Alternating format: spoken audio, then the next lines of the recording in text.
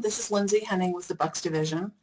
I just wanted to share something uh, that I do in each and every one of my classes, whether it's a face-to-face -face class or whether it's an online class. And this meets the Quality Matters Program Standards 1.1. Uh, instructions making clear how to get started and where to find various course components. I include something in each of my Blackboard course shells titled Start Here. And so here we're looking at it. I'm pointing at it on the screen. I'm going to left click on Start Here in order to open up that particular uh, content area.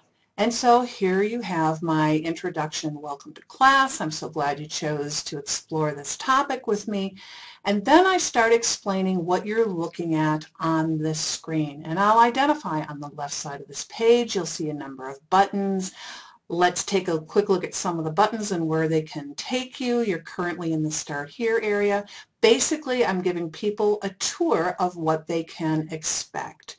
And I give a really brief description of what each of the main content folders uh, are within Blackboard, what you can find and where you can look at things, look for things. And so now, at the very end of this, I um, close it by reemphasizing everything that we learned and say, so now that you've taken a quick look around, what do you want to do? Do you want to check out your instructor? Click on Instructor Info.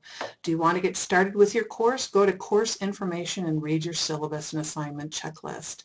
So in addition to giving my students a tour of what the different folders are, I close this tour with some specifics. Do you want to find out more about your instructor? Click here. Do you want to find out about your assignments?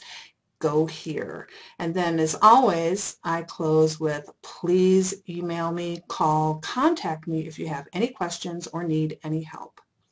This is how I meet the QM Standard 1.1 Instructions make clear how to get started and where to find various course components. Thanks for listening.